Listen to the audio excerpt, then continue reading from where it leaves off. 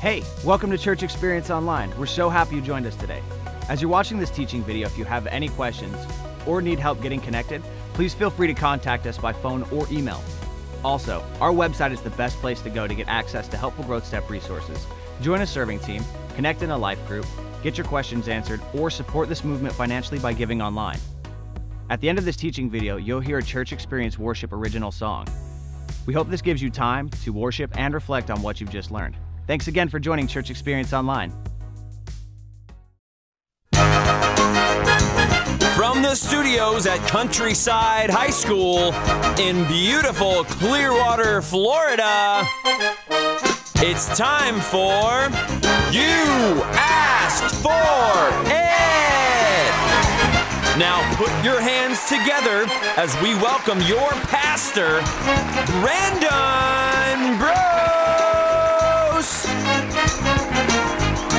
Well, it's great to be together again today. And wouldn't you agree? Isn't this awesome to be together worshiping? Yeah. I did not like having to cancel services last week because we didn't get to be together, but I did have a friend sent me a message that Sunday, and he said that was your best message yet. And so, uh, but I uh, know I miss being with you guys. It's been it's been great to see everybody again and uh, to be back together. And I hope you weather the storm well, regardless of uh, what you had to go through. But I'm, I'm glad you made it here today. A lot to be thankful for. And I'll tell you what, one of the, the, cool things that came out of this last week was to see church experience people stepping up and serving their neighbors, helping, uh, looking for needs, ways to help others, not just thinking about themselves, but thinking about others. And I think that's awesome. Would you agree? I think that's very cool. It was our, our church's first hurricane. This church did not exist the last time a major hurricane rolled through here. So we, we weathered it together. It was our church's first hurricane.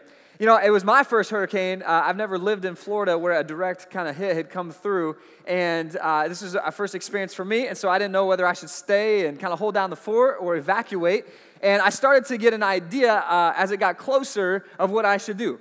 See, I, I naturally like adventures. I, I like to be a part of the excitement and, and you know the adrenaline rush and so there was kind of a little bit of that mixed into the craziness and the fear that everybody had there's also like well what's going to happen it's my first time and, and uh, you know I, I, was just interested in what this experience is going to be like. Went to the grocery store and I saw all the bread and all the water had sold out. I'm like, okay, that's not good. When that stuff starts happening, that's something's going on, right? And then, and then I see like people, like neighbors, boarding up their windows. I'm like, okay, that did not happen in the Midwest, right? And all the other places I've lived, I've never seen that happen. So I'm like, this is this is a big deal. But then when I started to think I needed to evacuate, was when I was driving past the gas station and uh, there's this huge line of cars, and I hear people talking about gas stations running out of gas. And I picture millions of people evacuating Florida at the same time with no gas, being stuck on a highway, and a hurricane blowing through. I'm like, that ain't gonna happen. so I'm like, everybody get your stuff and get in the car. If you're not there in five minutes, you get left behind. I'm sorry. I love you kids, but I only need like two or three of you, you know, to get in the gas. We're good.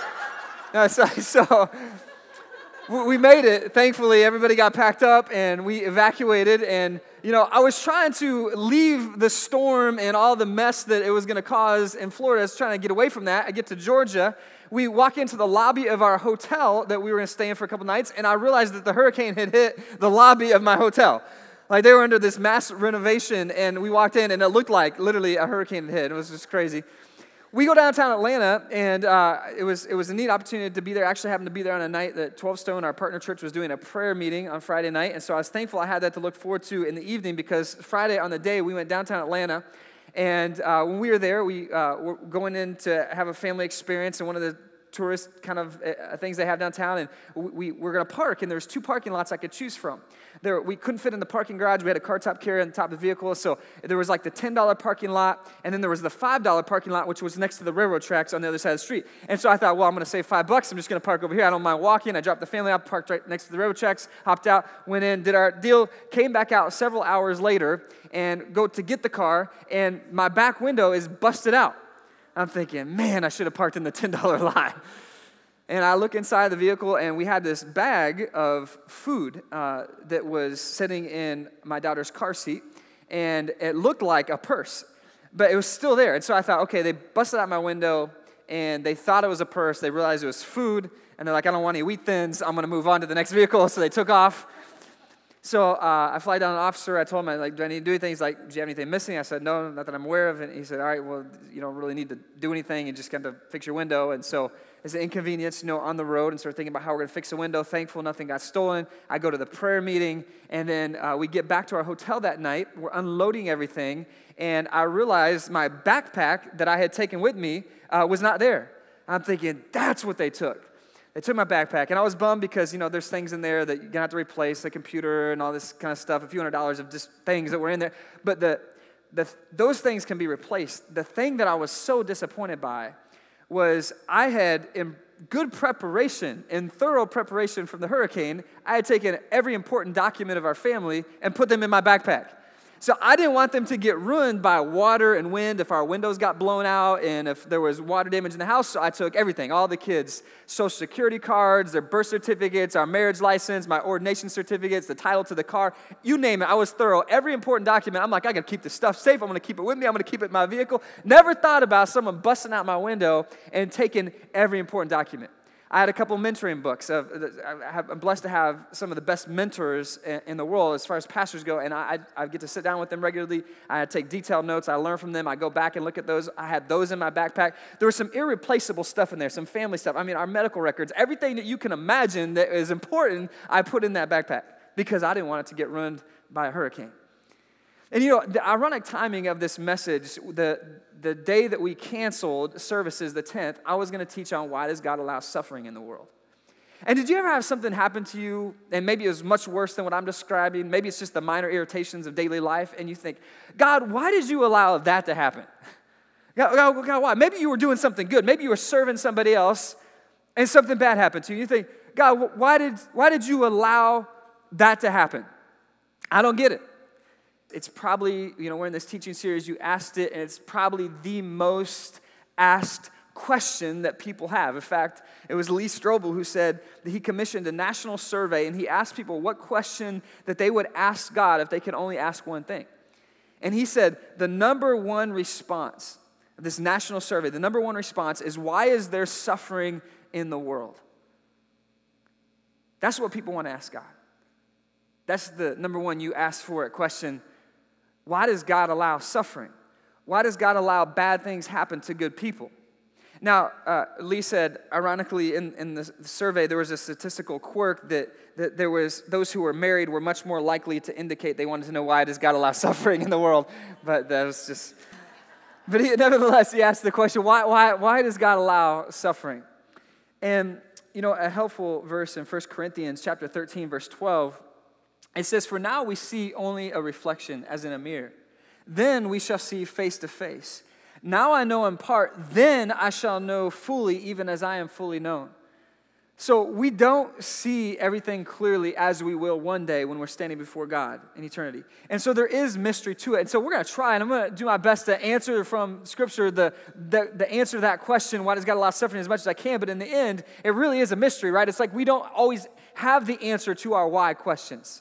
I mean, sometimes we do. Sometimes later on we look back and we're like, okay, this happened and then there was this purpose in it. God, I see why you allowed that. But it's not like the logical mathematical formula that every time you get to the end of some horrible suffering experience, you look and you say, okay, I, I see. That, that was clearly, okay, I, I totally get it. You know, it's like we, we don't. In this, in this world, we see, we see like foggy. It's, it's, it's, it's kind of like mysterious. I, I don't understand. Like, God, why, why did you let that happen? And, and you're saying, God, there's this, this thing that happened in my life. And I, I, get, I, had a, had a great friend, accountability partner in my 20s, and he just had his first kid. Great man of God, serving the Lord, worship leader, just an incredible guy. And he's driving down the highway and gets hit and dies. And it's like it was no fault of his own. Couldn't have seen it coming. It's like, God, why'd you allow that? We don't, we don't have all the answers. Sometimes you go on and you see, I mean, his, his wife uh, went on and got to tell her story to tens of thousands of people and was on national television and now is remarried and has a family and has got a musical career for the Lord that she's using in sharing the story. And so, okay, I can, I can see a purpose in that, God, but not that you still would choose that or any, I can see purpose. But what about when you can't? What, what, about when there's, there's pain and there's problems in the world and we ask questions, our friends that are spiritually lost say, well, I, why would God allow suffering? How do you answer it? And it's a question I think that we've all asked. And here's the core of it. I want to share a few thoughts from Andy Stanley that were so, so helpful. I think will help you. He said, you know, the core of it is if God is good, then he would. Right? Isn't that kind of the core of your question? Is if God is good, then he would. He would stop suffering, right? And, and if he could, then he would. If God could stop it, then he would, right? So it's, it's kind of like when you're outside looking in, not from a Christian worldview, you're saying, well, well, I, I don't know if I believe in a God who would allow suffering because if he was really good, he wouldn't do that. And if he was powerful enough to stop it, then I don't think he wouldn't. It's kind of the core of it. But Eddie said that there's no rational argument against the God of, that Jesus presented based on injustice in the world, bad things happening to good people. There's no rational argument to, to say that Christianity is not true or powerful based on that argument because actually our faith was built on the fact that something really horrible happened to the only really good person. That was Jesus, who was perfect and without sin. And uh, although he was innocent, something horrible happened to him. He was persecuted and eventually executed on a cross, and he didn't deserve it. And so our whole faith is built on this. And he said, you know, we, our faith wouldn't have made it out of the first century if it was built on the idea that God doesn't allow suffering for good people. Because if you think about it, all the heroes died.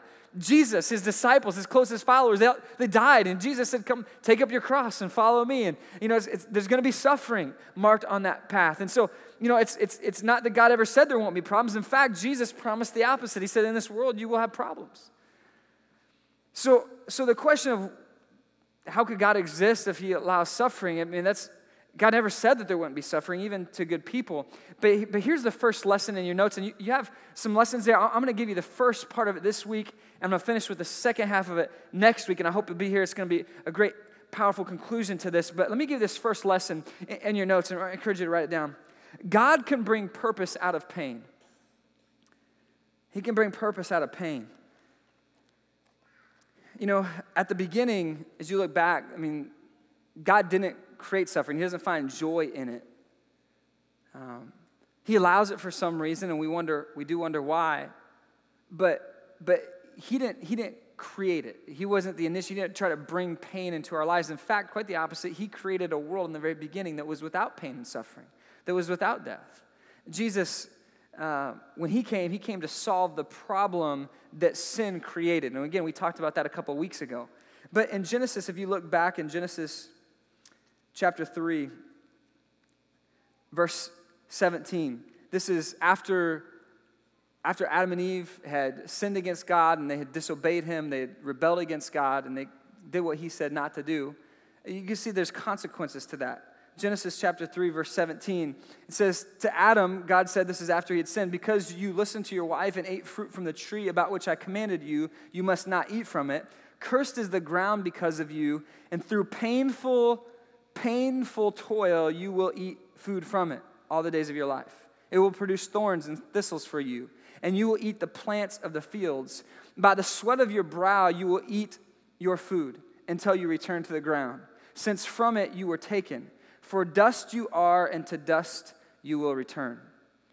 So there's, there's pain that's brought in the world, there's, there's suffering because of sin. It's, it's a result of sin that pain came into the world.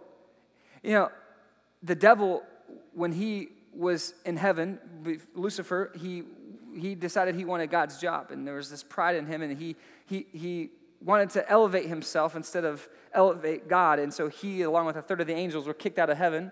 And so that's the, the good and bad evil in this world, this, this, this battle that's going on, is the devil's trying to destroy God's creation. He's trying to get at God ultimately. So because God loves you, he's trying to destroy your life. And so he comes into Adam and Eve and he tries to tempt them to do what God said not to do. And, and they, they bite on the hook and they're hooked and they take that road and it leads to all kinds of misery in our world you and I are not exempt from that. We're a part of that problem. We have all sinned, as the Bible says, we've all sinned and fall short of the glory of God. But once sin came into the world, it brought destruction.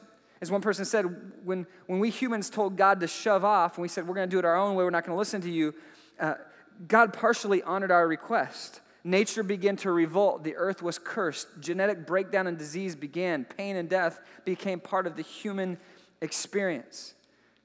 God allowed the consequences of sin to come in to the world. And perhaps one of the reasons why he did that was so that we would see the damage of sin, so that we, when we see pain and suffering in the world, we would see that, and no one's exempt from it, right? But, but that we would see the damaging re- uh, result of sin, the consequence of sin, not just other people's sin, but our sin too, which keeps us from living in sin. And we see how bad it is. Death is the ultimate expression of the consequence of sin, right? And, and you know, it's, it's, a, it's a challenging question. Why do bad things happen to good people? And I, I want you to hear just a few minutes from uh, one of my mentors, Pastor Kevin Myers of 12 Stone Church, on that question. Why does God allow bad things to happen to good people? Why do bad things happen to good people? Because of sin. Sin brings death, disease, sorrow, loss, suffering. That's what sin did. All of us are experiencing the fallout, the effects of sin. God said to Adam and Eve, When you sin, you will surely die. We don't take this stuff seriously, but it's very serious. We, we kind of dismiss it, no big deal. But see, no one is immune to the consequence. So you're like, Well, that can't be the answer. No, that is the answer. One of my favorite cars we ever had was back when, when I was you know, about 26 to 30. We owned a CRX, a Honda CRX. This was back at the end of the 80s, early 90s. And unfortunately, it was my wife's car, and I really wanted it to be my car. And so we bought it new, and we are very excited that season of time. And, and, and I preferred to drive the car as often as I could. So one day I was driving the car, and she had mine, and it was pouring down heavy rain. That's my excuse. And the tires were, you know, needed to be replaced. That's more of my excuse. And, and, and I had to get somewhere, and that's why I was driving a little too fast. And, and then I hydroplaned, and I did a helicopter. And when I did, I went into the curb up on, and I didn't hit a tree, I didn't hit another car, I did nothing. I just went right up on the side, hitting the, hitting the curb. And, and I thought, oh, thank you, God, that nothing happened. And so then I drove the car away, and it, it didn't drive right. you know what it was? It's, uh, something was, was, funky about the, uh, the steering and the driving, and so I knew that. And, and so the next day, I, I took it in and to the shop, and the shop looked at it, and, I, and they called me, and they said, uh, uh, "Mr. Myers, uh, we have bad news for you. Your car is totaled." I said, "How can my car be totaled? It looks awesome." We didn't even touch the paint. Nothing got scratched. The, car was, the car's in perfect condition. The guy said, let me explain it to you. He said, you, you, you know what a shoebox looks like? Uh, yeah. Four corners? Yeah. None of your tires are in the corners, they belong. your entire frame is twisted. Your car is totaled. I don't care how it looks, underneath, it's totaled. Sin has totaled our soul, it's undone us. We keep looking on the outside and say, oh, I'm awesome, everything's great. Just, this is, no, no, no, no, no. no. Look underneath. It's why life doesn't ride right. And it's cost us. And this is serious business, and we don't think of it that way. Now, let me answer the question from a Christian worldview. Listen, why do bad things happen to good people? They don't because there are no good people. Because we've all sinned. You see, only God is good. In the context of who and what is good, only God is good. And nobody's equal to God. Romans 3:10 tells us no one is righteous. No one seeks after God. All of us live in a world of sin, and all of us have sinned. Now, the non Christian worldview is going to dismiss that, but if you're answering the question from Scripture, no one is good. Therefore, why do bad things happen to good people? They don't.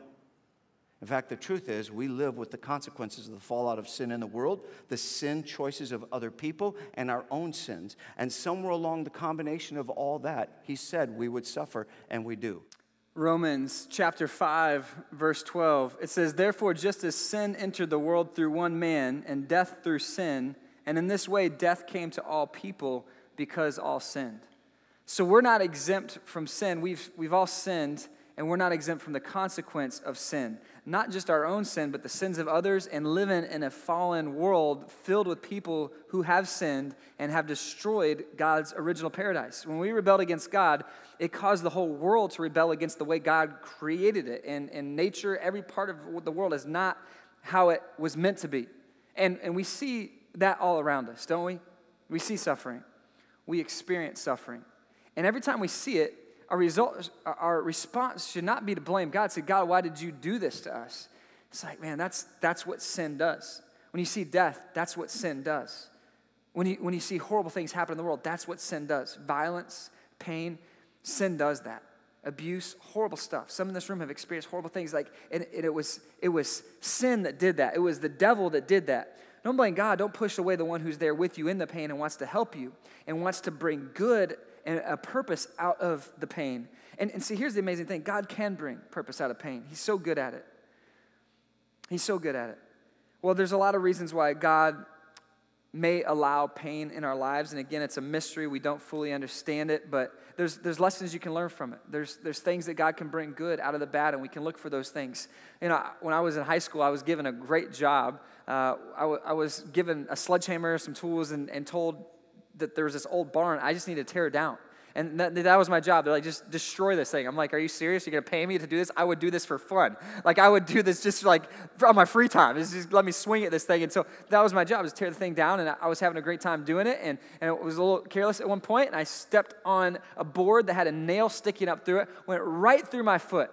And I'm talking like deep into my foot, some serious pain and I, I, felt it and you know i was walking around with a limp the next day and just anytime i put pressure on it there was, there was pain and unfortunately, before the end of the job, before I finished it, uh, I was tearing this thing down. I wasn't paying fully attention to where I was stepping, and I stepped on another board on the other foot, and a nail went through my other foot. And I, so now I'm like hobbling around. I can't put pressure anywhere without experiencing pain. Everywhere I walk is just pain, pain, pain, pain. You ever feel like that in life? Like everywhere you turn, it's just like this is a bad week, this is a bad day, and and it's just, it was kind of like that. And, but you know, you learn lessons from it, and good comes out of it. And you, you think, I don't think since that time in my life, I don't think I've ever stepped on a nail again. Not that it won't happen, but I hope it doesn't. And I learned my lesson to be careful around nails, especially old rusty nails pointed up at you, just like watch out. Well, this, this weekend we were helping my neighbor's fence had fallen down in the hurricane, and we helped him get it all out, and he's pulling the whole thing out. And we helped put it out on the road, and I had my kids help me. And I told my boys as we were doing this, I said, guys, don't step on any nails like right? The experience is speaking. So now i can help them. My my mess my previous pain can help them in their pain. But you know what? If you don't ever experience pain and suffering yourself maybe you don't know how serious it is. And not that they weren't being careful but at one point in the day we're hauling all the wood out to the front and one of my boys stepped on a plank with a nail in it and went up in his foot and he's like dad i'm bleeding. And he showed me where the nail in it and i'm like oh man i'm so sorry. I've been there. I know what you're feeling right now, and I'm really sorry that you experienced that. But you know, he's, he's going to learn. I think he's going to do that again. He's, he's aware, but now when he walks around this weekend, he's got a little limp. He's, he's feeling the, the pain. And, and you know, and then you can ask questions like, well, okay, there was an innocent, okay, I'm his dad, so I know he's not innocent, but he's innocent young kid helping somebody else, trying to do something good, and he experiences pain. How does that, God, why, why would you let something like that happen? This is a little microcosm of the bigger question we ask. God, if you could, why don't you, why don't you keep these kinds of things from happening. I'm trying to do something good in my life and I'm trying to help others. I'm trying to whatever. You fill in the blank and then this happens or you allowed this or this horrible thing happens in the world. God, why would you allow it? You know, one of the things that Charles Stanley says that pain and suffering alerts us to danger, the danger of sin, like similar to a kid touching the hot stove realizes not to ever do that again because the pain taught them a lesson, brought wisdom into their life. And there's not only that, but there's this awareness that sin leads to death, sin leads to destruction, ultimate destruction, of course, in, in hell, being separated from God forever. And so when we step out of, outside of what God commands us in the Bible in any area of, of, of, our life, and He says, hey, this is how you're to live, and we step outside, the pain in this world is to remind us is that, that this pain is temporary, but there'll be an eternal separation from God. That, that, that will be unending for those who choose to reject God. He'll, he'll let you. And we talked about that again a couple of weeks ago, and why would God send people to hell and all that kind of stuff. And we talked about how it's not so much that He sends it, it's that we choose it. We, we choose to push Him away and kind of do things our own way, and, and He, he kind of allows us to, to experience the consequence of that. And so, sin, here's the lesson in your notes sin brings suffering into the world.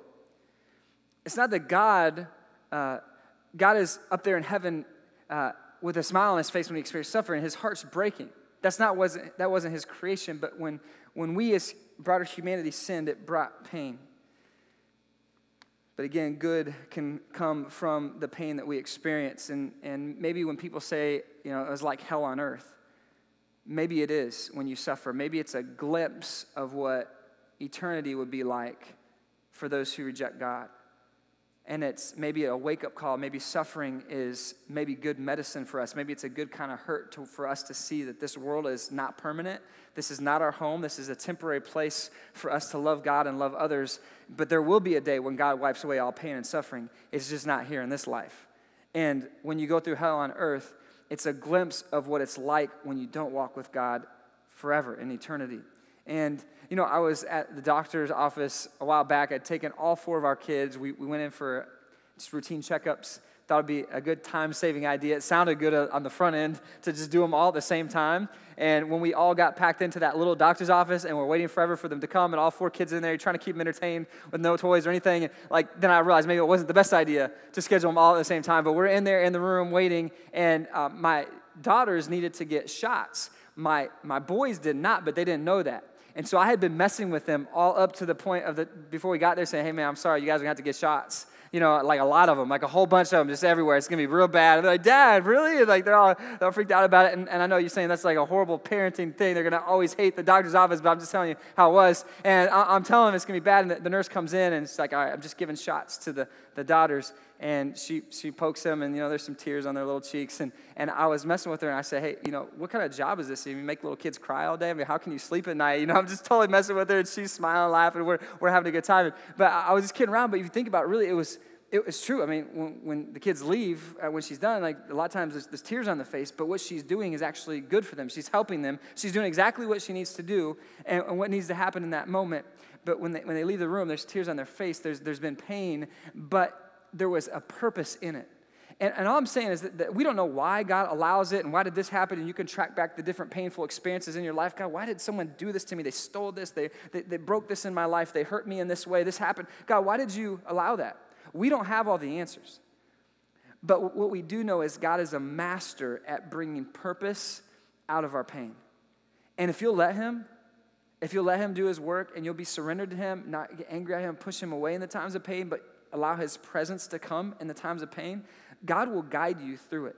Even when there's injustice that's done to you, around you, and there's horrible things that happen in our world, you can find so many times purpose in it. You know, one of the things I was encouraged by uh, post hurricane is to see how many church experienced people. I, I, saw multiple notes of people going to help other people, help their neighbors, help do some good in the community because of the storm.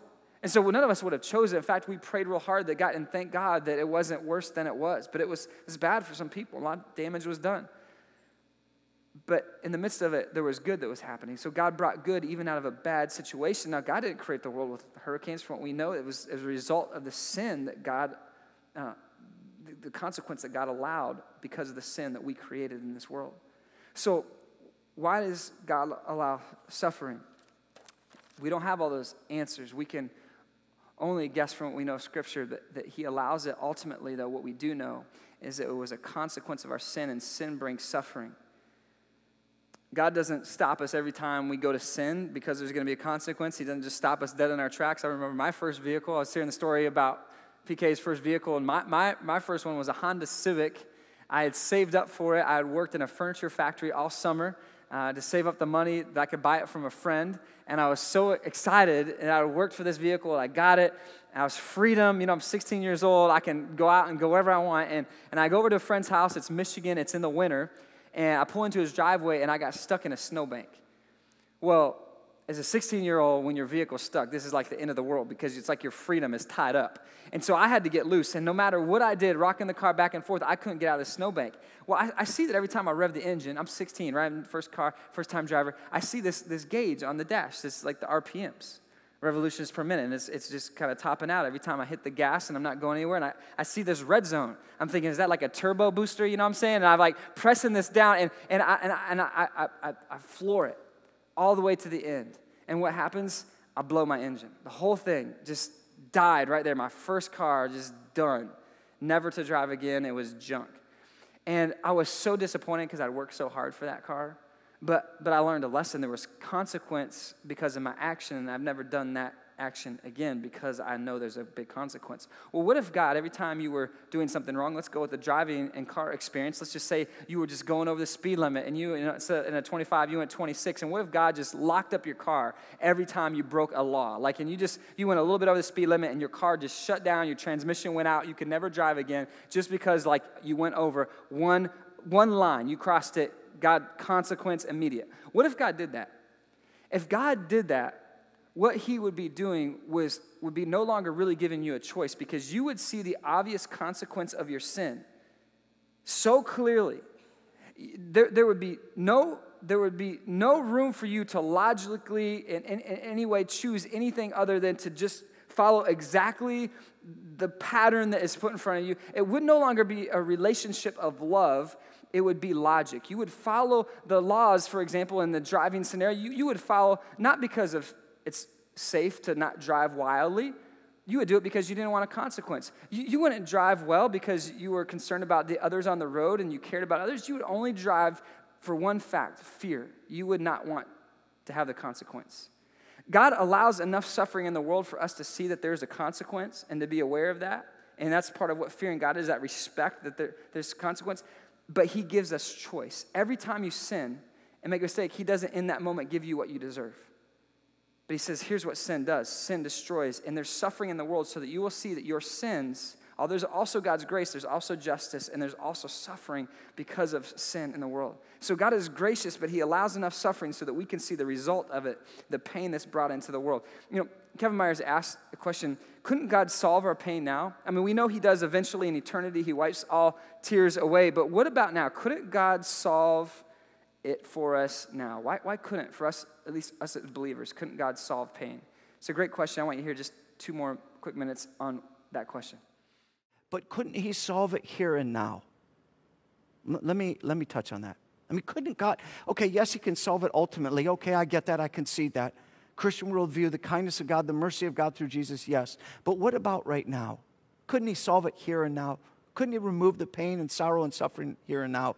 Well, listen, the truth is because pain and sorrow and suffering and disease and death and loss come as a result of sin in the world, as a result of other people's sin that they choose and it impacts me, as a result of my sin that I choose and it impacts me. The collective of it all leaves it in this world because that's the true condition. If God were to intervene every time someone makes a potential decision that could cause pain on someone else or on themselves, God would have to remove free will. Isn't that interesting? Because we're a curious people, aren't we? We at one and the same time want to exercise our free will, but then we got, want God to remove the pain and the suffering of the consequences. That would be as foolish as saying, I want the freedom to be able to smoke if I desire to, and that's your freedom in this world.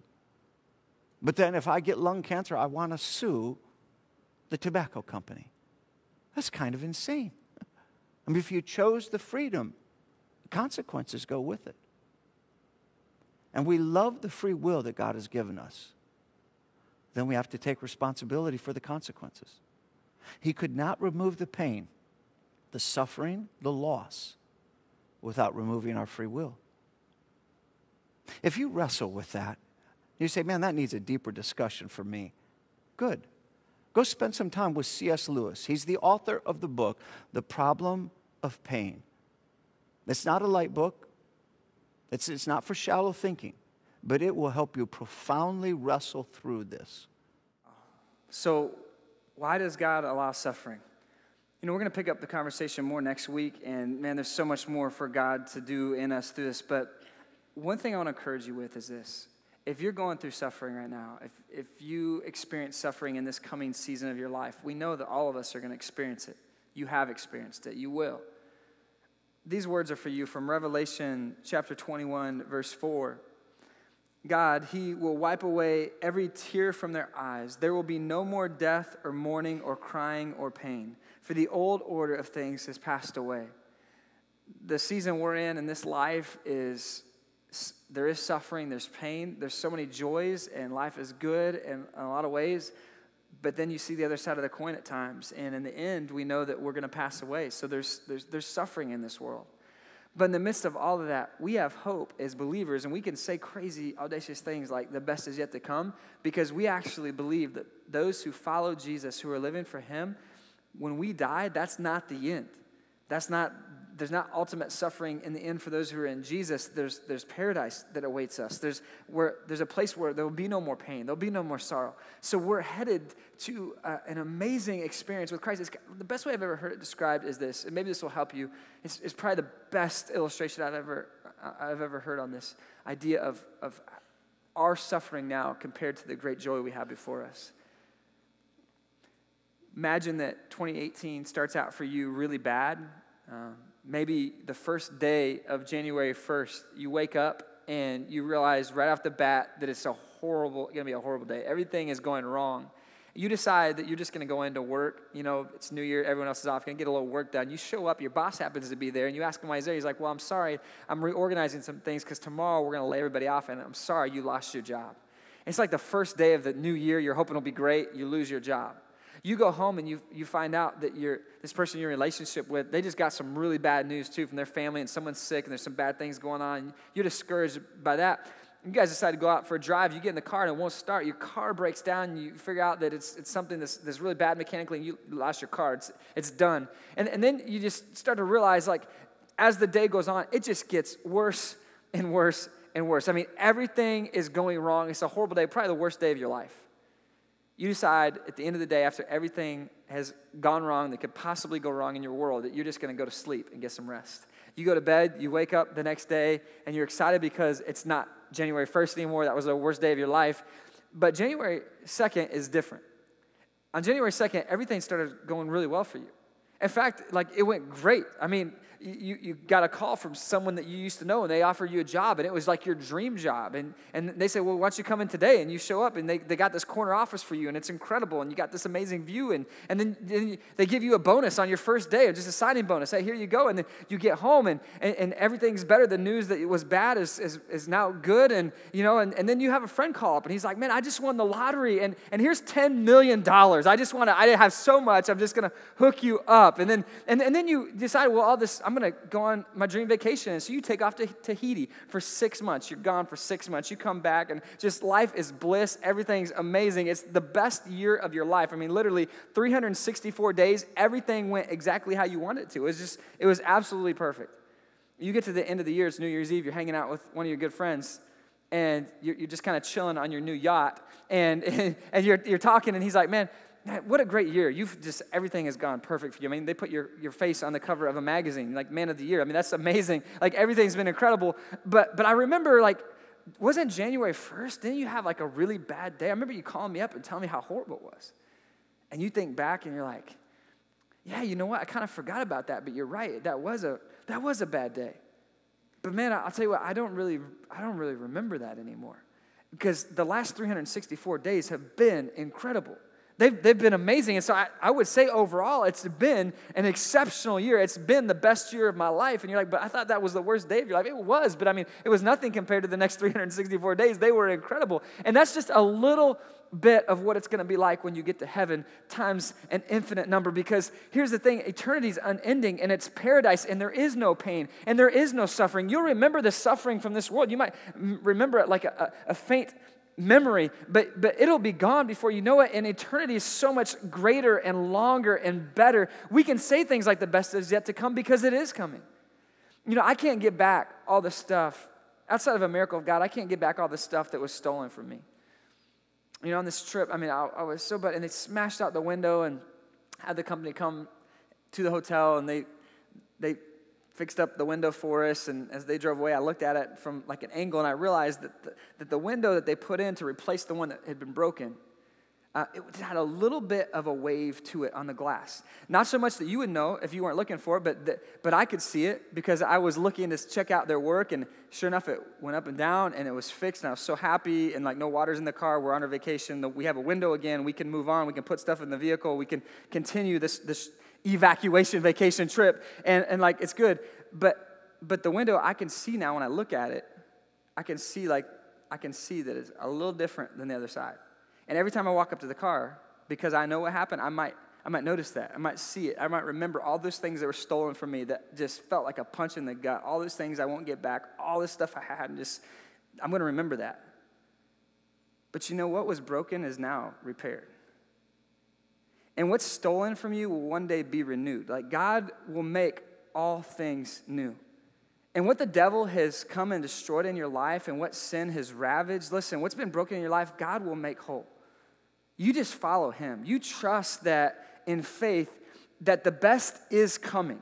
It's going to get better. We live in a world that's marked by sin and suffering, and we can't change that, but what we can do is advance the message of Jesus this greater. We can, we can love God and love people around us. We can help show people that there's a better way than the path of sin that leads to a horrible consequence. We can show them that although they're suffering in this world, there's a much better world coming, a, world for those who are in Jesus that's unending. And, and yeah, you might remember, you might look and see the, the consequences of sin, and you might not ever, ever be able to remember or forget that thing that happened back then, but, but there's better coming. And when you look back one day, you might even see good that God brought from the horrible. You might see this triumph that came from the tragedy. You might see a message that came out of the mess in your life. But man, as you trust in God, as you trust in God and walk with Him, He and His presence will be with you regardless of what the pain is in your life. Let me leave with these words that I hope will be an encouragement to you this week as you think about these things. Second Corinthians chapter 4 verse 16 says therefore we do not lose heart though outwardly we are wasting away. We're suffering, these bodies are not going to last. This world that you may establish is not eternal here. But he says yet inwardly we are being renewed day by day we find our strength inside. Verse 17, for our light and momentary troubles are achieving for us an eternal glory that far outweighs them all.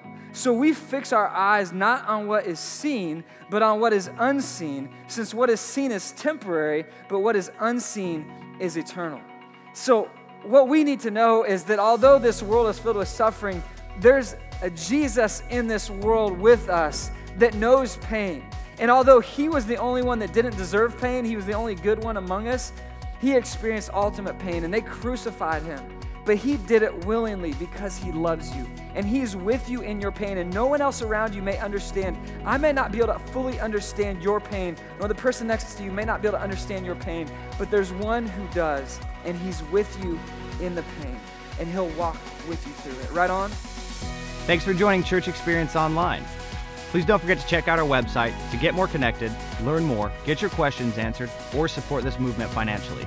You're now going to hear a Church Experience Worship original song. We hope this gives you time to worship and reflect on what you've just learned.